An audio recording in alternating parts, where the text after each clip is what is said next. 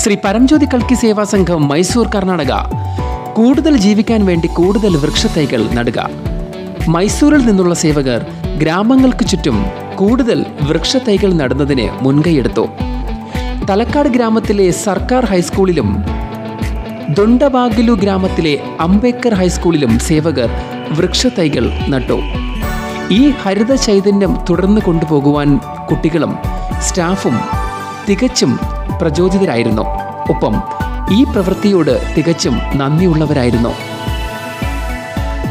അവസ്മരണീയമായ ഈ സേവയിലൂടെ അവരെ അനുഗ്രഹിച്ചതിനെ സേവകർ ശ്രീ പരംജ്യോതി കൽക്കിയോട് നന്ദി പറഞ്ഞു.